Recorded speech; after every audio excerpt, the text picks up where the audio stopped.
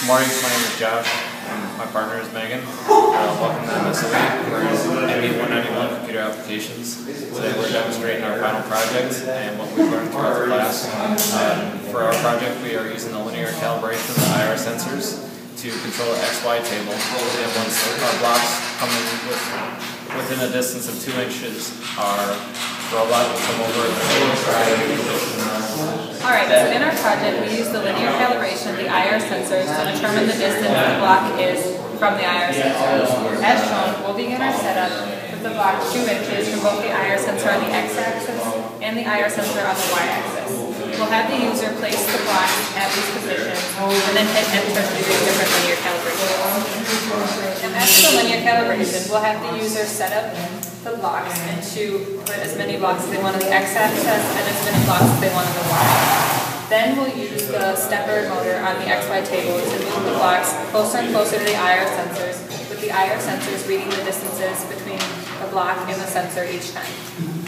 Alright, now that the block is within 2 inches of the IR sensor, the next thing that will be shown is the robotic arm movement to pick up the block and set it down. This just involves using the arm lock code to move the robot and adjust the different inputs for the waist, shoulder, elbow, gripper, and wrist. Alright, we will begin our program by linearly calibrating the IR sensors on both the X and Y axes. As shown, the blocks were already set on the axes at the correct distances away, and the user just had to hit enter to linearly calibrate them.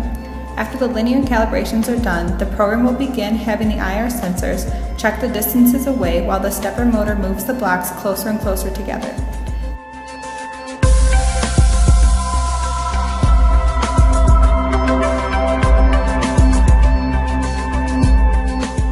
As shown, the block is now within one inch, so the stepper motor stops and the robotic arm moves to where the block is. The robotic arm picks up the block and sets it in the square taped on the table.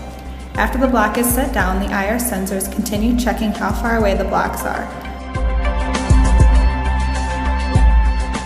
Again, the block was within one inch and the robotic arm went to retrieve the block.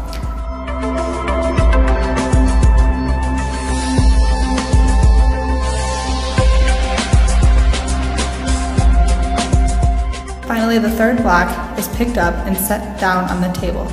Once the third block is set down on the table, the program is finished.